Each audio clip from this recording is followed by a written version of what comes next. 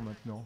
Et dans, ce sens, encore une fois, on a énormément confiance en, nos joueurs. On a envie de, faire plaisir à tous nos supporters français qui sont derrière nous depuis le, début. On a beaucoup parlé du talent de, de la plupart de nos joueurs.